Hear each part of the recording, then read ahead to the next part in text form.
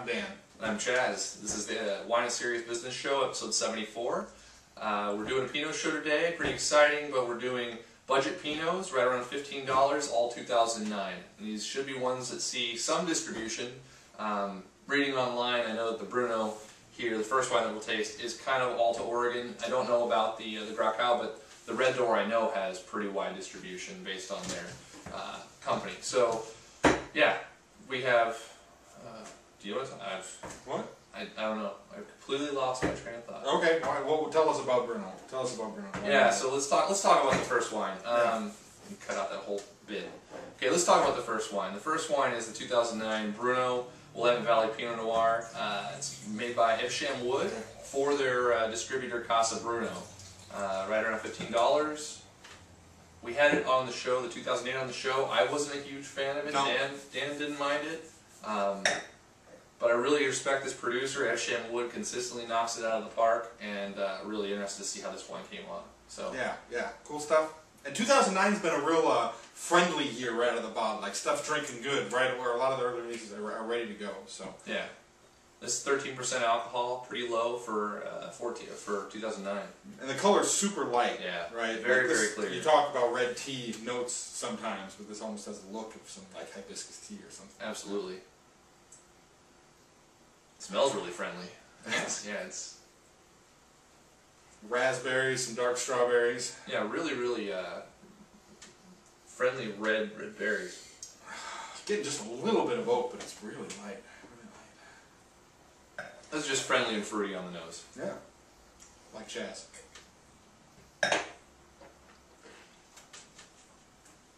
Dan's a dick, Wow, strawberries totally on the palate. big time.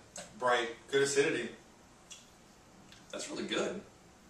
I mean, it's not complex or, or else, I mean, that uh, amazing in any, any sense, but it's like really, really easy, goes across the palate really smoothly, Juicy. lots of juicy fruit, yeah. Um, but not like big or, oh, not gonna knock your tongue out of the. I can't even talk tonight. I, I ran, I just ran 13 miles and I'm tired as shit. So, too, right? yeah, so this show is probably going to be me stuttering and fumbling my words multiple times, so I apologize ahead of time. But Not too bad. Yeah. Not too bad. really nice fruit on this. Simple, delicious Pinot Noir. Why are you running so much? Training? Yeah, got a, a 50k run around Hagg Lake, doing two laps of Hagg Lake uh, here in late February. That's so, amazing. so I ran 13 miles today, and tomorrow I'm going to try to do. I got to make it 30, so I got to try to run 17 miles tomorrow. 30 So- in two days? Yeah. Yeah. Wow. The strawberry fruit persists on the palate, and it's, it's just like clean and juicy and easy to drink. I'm getting a bit of a green note that throws me off late on the palate. Not really disruptive, but it but it takes away a little bit from the from the juicy goodness for me. Um, takes it down to 85 points at the price point. Just fine, and uh, yeah, pretty tasty. Yeah, I think I threw the previous vintage of this under the bus, but I mean, this is Dan's uh, correct in his scoring. I'm going to go 85 points on it too. Uh, it's simple, it's delicious, and uh, at the price point, uh, worth checking out. So, recommended. So, uh, wine number two here, we've got Grochau sh- Cellars. I'm not sure how to pronounce that. I'm sorry. You can, you can if you see this, you can correct us under underneath. Um, with the Commuter Cuvée, uh, 2000, 2009 again? Yeah, 2009, Willamette Valley Pinot Noir. This is a wine I've actually kind of wanted to try for a while because the, the winemaker has been uh, kind of active on Wine Berserkers and, and some other, you know, forums, forum stuff here and there. So, noticed his name. Haven't tried much of his wine before, so I'd like like to check some of the new stuff out. I've seen his stuff around, but this will be the first time I've ever had his wine. So, So there's a nice write-up on him. I think he makes his wine out of uh, Northwest Portland in, in the city. He's been at it since 2002. yeah, 2002. Yeah.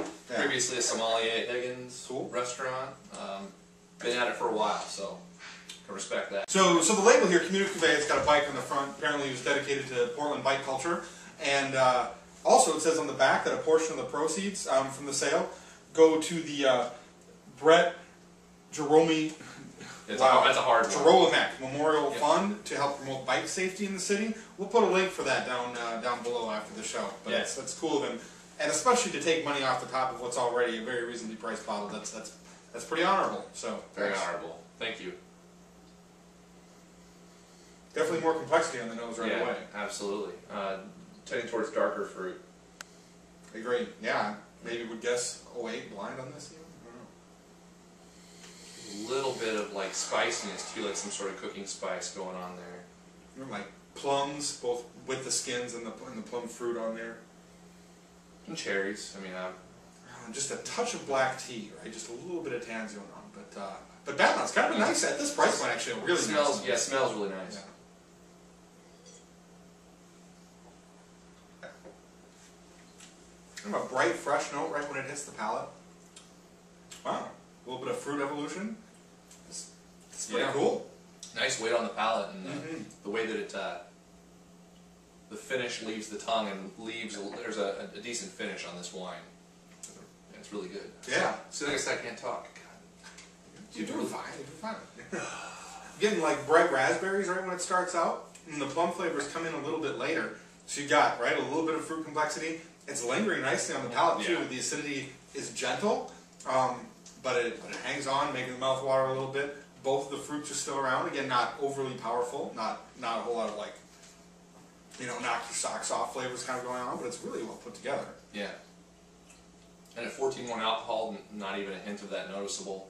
Fruit stands up really, really well with the rest of the structure. It's a nice wine. Really nice. 88 points for me. I like it a lot. 88 plus. Yeah, I like it It's, too. it's really good. And, and, and, at sub 20, I'm I'm really impressed. For At $15, completely recommended. yeah, for those of you out there who you know who are poking around trying to introduce yourself to Oregon Pinot, or are looking for something just reasonably priced that you can drink more regularly, this is yeah, this is definitely worth checking out.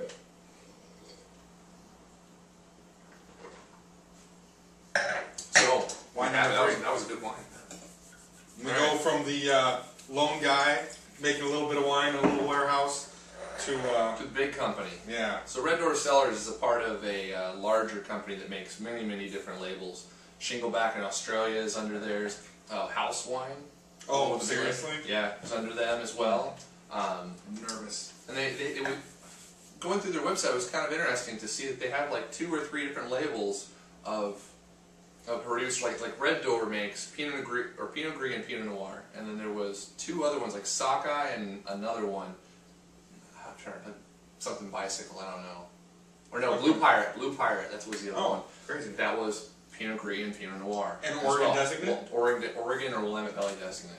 Crazy. Yeah, strange. So So those of you who are experts, those of you in the business out there, why does a company do that? Is that just a marketing move to kind of like catch more shares in the supermarket?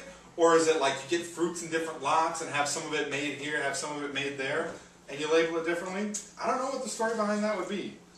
And, and it sounds a little fishy, right? It makes it makes me even a little nervous. But Are you good? sure, yeah, this is good. Oh, Splishy Splash. sweet. This is the last one, so. Uh, and when I was first getting into Pinot Noir, I remember buying a bottle of this and being happy with it. It was Oh. the 05 or the 06. I Interesting. think it was the 05. And yeah, I was, was happy. 06. Ah, but I can't remember. That was many, many glasses of wine ago. Yeah. Also pretty bright. Before Cellar Tracker. So, bright on the nose, but there's not a whole lot coming off of it. There's not a whole lot of uh, fruit going on here. no, it's definitely less less fruity initially. Like it doesn't jump out of the glass like the first two. The first two are very pungent. Uh, this is a little more subdued. I even get like little limes along with the cherries, but it's really light. You gotta kind of gotta work for Yeah, it. yeah, cherries and some sort of citrus note. Sniffing. Yeah. Doesn't smell bad. It smells No. kind of good. Yeah. Nice enough. Yeah. Starts out nice, clean on the palate, stays clean through. The oak influence is definitely more visible in the previous two wines, but it's not heavy. I wouldn't mm-hmm. characterize it as heavy by any stretch. And turns a little more sour, a little, or a little more sour or tart on the finish than the previous two. This, the acidity here is Sure. definitely on the. Uh, I don't know where this, what sort of flavor to go with this. It's just tart. Um, Sure. But not in a bad way. Yeah, I'd go with a little white limes against some cherries, maybe a little hibiscus. Definitely the flavors are lighter and uh, maybe, maybe even a little weaker than the previous two. Leads me to believe that, that you know maybe maybe it was uh, you know high high volume in the vineyards or whatever. Like it wasn't crop as low, fruit's not as concentrated, um, but the flavor is still good. Yeah. it's, it's it's pretty well balanced. It's a good way to put it. It's it's it's, it's a very well balanced wine, but that said, it's just kind of low intensity almost all the way across the board. That way, it does it does have uh, better body than the the Bruno. I'll, agree. Yeah, It's a little thicker of a wine. a little on, bit on of the oak palate, in there. yeah. That's that's yeah. working all right. True, true. Another tough one to score. Um, not tremendously interesting, but you know, it's, it's nice wine. I'm gonna go 85 points again on this one. Yep, same thing. Yeah. It's it's it's yeah. It's, So this is a show where we nah, we 80, agree, 85 minus. I, given the choice, I would drink this first. Mm. Not by a whole lot, but uh, but but I like it a little better. And nothing wrong here. I'm suspicious that this is distributed very widely. Although I wouldn't, you know, I say with something like I'll if you, 84 points on that. if you want to check out, Given, go ahead. given, given that decision, yeah, I would much rather have the Bruno over this. So And this really sticks in my mind. You know, with, with stuff that's, that's cheaper like this, a lot of times I find myself saying, if you want to try out Oregon wine, this is a great way to get started. I don't know if this represents a whole lot of like Oregon characteristics to me that it I doesn't think really. you know strike me as interesting and definitely worth checking out. So, you know, Whereas I'll- these two are definitively Oregon.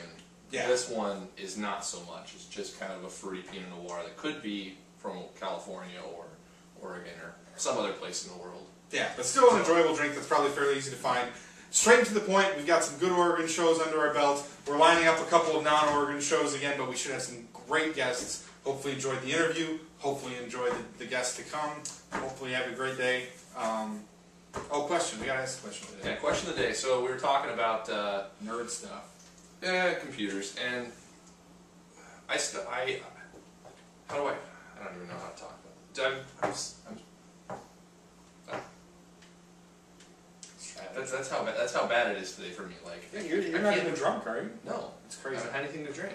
It's Wow. probably what the, probably what the problem is. Maybe I should- anything to drink. Made you pound half a bottle of it you could someday drink. Stammering over myself. Oh, that'd be the Bruno. Yeah. Be a joke. um, Uh, we got to do the question of the day Yeah. yet. Um, so we were talking about this earlier. Both You computer guys. Hopefully, you know, we, we know some of the people that, that watch us are, are, you know, kind of internet nerds.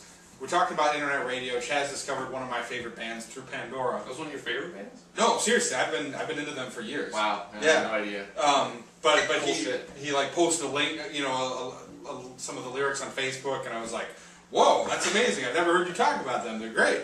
Um, and the Blow is the name of the band. They're playing in town in a couple weeks. Looking forward to seeing them live. But it got us into a discussion of internet radios, how much we've enjoyed Pandora, but we also know some people that love to hate on it.